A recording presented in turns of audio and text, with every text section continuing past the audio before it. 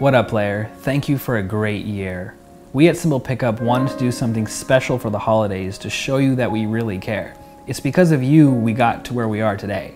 To show our appreciation, we are going to read some comments that really touched us and kept us going throughout the year. LOL, I can't get rid of the feeling that the white guy is a little retarded.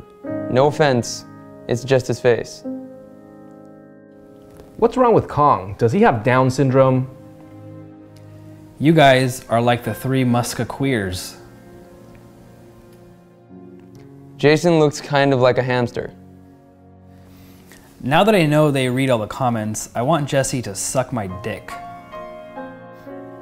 I don't like Jason. He should be more natural and less awkward when talking. That Indian fuck sucks totally. He is so shit at these pranks.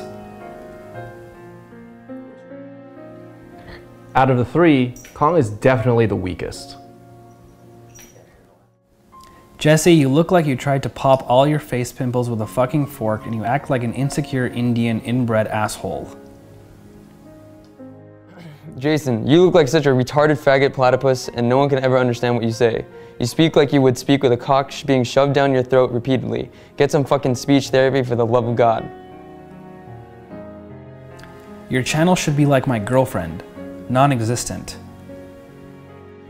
Why is Kong always sleeping through the whole video?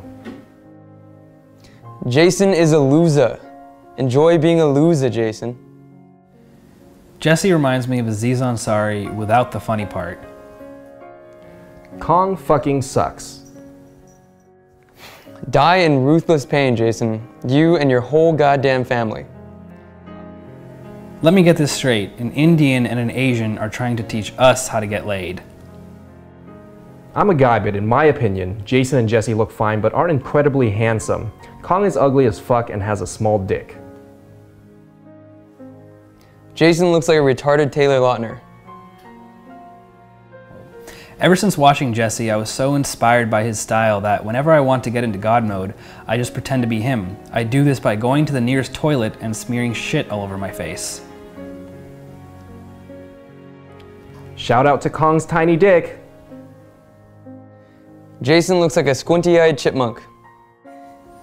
Project Go, more like Project Go Fuck Yourself.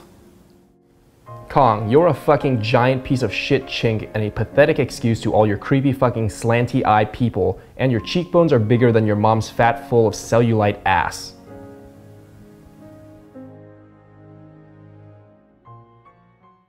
Be sure to check back in January because we have an epic collaboration with one of our favorite websites of all time.